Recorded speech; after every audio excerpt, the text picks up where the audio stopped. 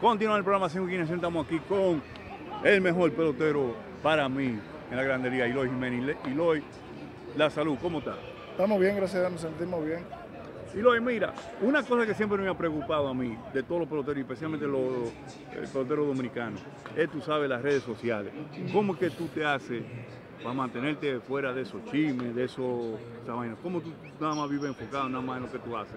Bueno, es que dime tú, cada quien tiene un comentario que hacer, entonces yo no le presto atención a los comentarios. Eh, en verdad, eso es lo que me ha, me ha ayudado mucho. Yo no estoy en comentarios ni, ni en lo que diga la gente, yo estoy en hacer lo mío y sea bueno, sea malo, estoy aquí. Y eso es lo importante. Claro. ¿Tú sabes por qué te, te pregunto eso a ti? Porque mira, el, pueblo dominicano no entiende lo difícil que es llegar a la Grande Liga. Ellos ven hey, lo bueno que es estar aquí y lo, el beneficio económico, pero ellos no saben lo tranocho, lo disgusto, lo, lo difícil que fue uno para llegar. ¿Tú entiendes? Entonces yo le digo, cada vez que ustedes van a criticar a un pelotero de esos dominicanos, recuérdense que ese hombre tiene una familia que le duele, una madre que le duele lo que están diciendo de su hijo. la gente, yo creo que el dominicano debe tener un poquito más de conciencia con eso. Es lo que te digo, tú por más que le hable a la gente, la gente va a hacer lo que le plazca, ¿me entiendes? Entonces, por eso yo no me llevo ningún comentario.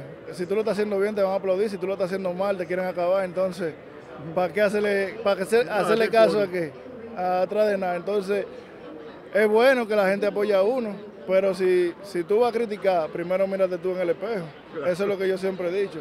Lo que por eso yo no miro comentarios ni, ni me ni me meto en redes sociales así por eso mismo, porque a veces uno no tiene eso y va uno de 4-0, viene uno, te menciona algo que tú no estás esperando y tú ya vas con los 4-0 y te la quieres de quitar con él. Entonces, y todos son peloteros. Y nada, todos son los mejores coaches y eso, pero dime tú, eh, esa gente son buenos. ¿Tú sabes por qué? Porque son los que nos mantienen a nosotros luchando todos los días.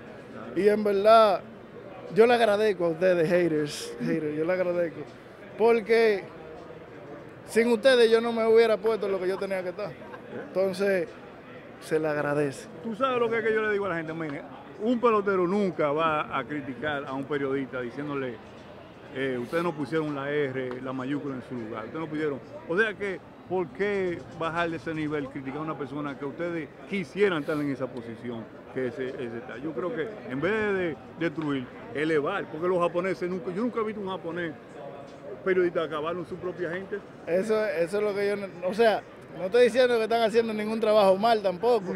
Lo que yo entiendo que si somos latinos, si, estamos representando, tú estás en la parte de, de la miria y todo eso, yo estoy en la parte del terreno en vez de ah, vamos a ayudarnos. Pues porque entonces, si yo no te doy una entrevista, yo soy malo. Pero si tú hablas mal de mí, tú estás bien, tú estás haciendo tu trabajo. Entonces, ¿cómo, cómo tú vas a poner el pelotero en esa situación? ¿Me entiendes? O al deportista, no nada más al pelotero, porque eso no se ve nada más en pelota, eso se ve en todos los deportes. Entonces, si uno es el que no quiere dar la entrevista, uno es malo y te quieren acabar. Pero si, si tú hablas mal del, del jugador, entonces ahí tú estás haciendo tu trabajo.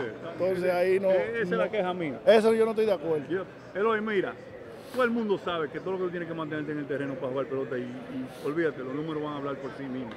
Yo espero que tú tengas buena salud este eh, resto de la temporada.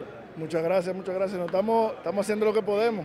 Eh, ha sido difícil, pero estamos aquí eh, tratando de representar una vez a Latinoamérica y dándole, aunque sea un buen ejemplo a los muchachos, que no nada más es estar en teteo, no nada más es estar en discoteca. Si tú puedes estudiar y ser un profesional, hazte profesional. Si tú quieres ser jugador, sabiendo que la calle y el deporte no van de la mano.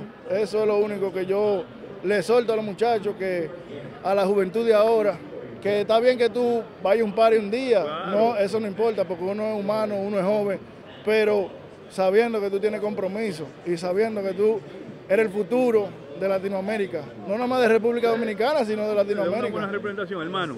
yo te voy a quedar más de tu tiempo, yo sé que tú tienes que trabajar. Gracias por tu tiempo y, por los consejos tuyos que tú le has dado al público. Gracias por eso, de verdad. Muchas gracias. Eso demuestra que tú eres seis herramientas, no cinco. Para mí tú tienes, estamos, ellos tienen las cinco. Estamos tratando, estamos tratando. Cuídate, hermano. Muchas gracias.